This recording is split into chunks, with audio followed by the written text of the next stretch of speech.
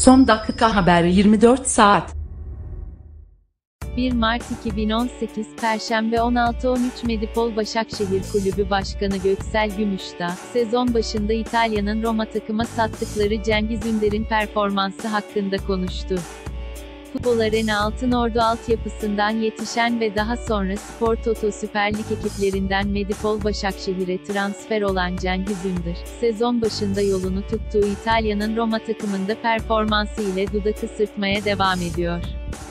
Medipol Başakşehir Kulübü Başkanı Göksel Gümüşdağ, sezon başında İtalya'nın Roma takıma sattıkları Cengiz Ünder'in performansı hakkında konuştu.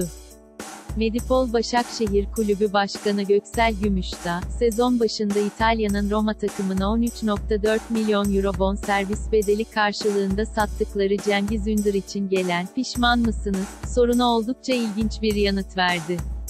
Medipol Başakşehir Kulübü Başkanı Göksel Gümüşdağ, katıldığı bir panelde, Cengiz Ünder'in performansını gördükten sonra, daha yüksek bir rakam satabilirdik, şeklinde düşünüyor musunuz? Soruna şu şekilde yanıt verdi. Manchester City ve Roma kulübü işgal etmişti, öyle düşünmedim.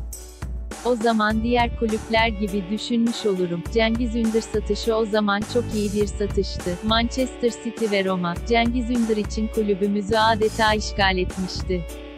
İlerleyen yıllarda Cengiz Ünder 100 milyon euroya da satılabilir. Roma, Şampiyonlar Ligi yorgunluğunu ligde hissetti sahasında güçlü rakibi Milan'ı ağırlayan Roma, genç oyuncular Kütron ve Davide Calabria'yı durduramadı. Maçın ilk yarısı 0-0 berabere biterken ikinci yarının başında 48.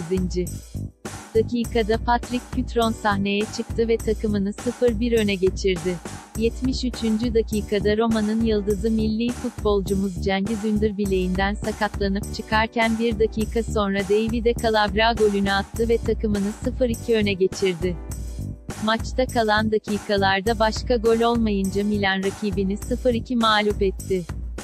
Spor Toto Süper Lig ile ilgili son gelişmelere Süper Lig haberleri sayfamızdan takip edebilirsiniz. Futbol Arena Haber Turu 1 Mart Perşembe 2018 Roma Cengiz Ünder Medipol Başakşehir